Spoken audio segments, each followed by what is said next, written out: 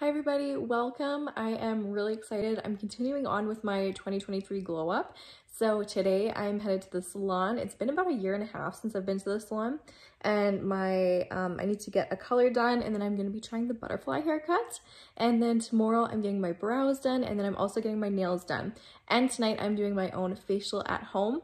Um, with Mary Kay products. So I'm going to bring you along for all that. I'm really excited to do this as moms. It's easy for us to just kind of put these things off and then it ends up being a year since you've gone and got a haircut. So um, come with me and um, let's go to the salon. Is after. It has so many nice layers in it and it feels so healthy. I'm in love with it. So I am just getting ready to do my facial with my team and our customers. This is what I'm using. This is our TimeWise Miracle set.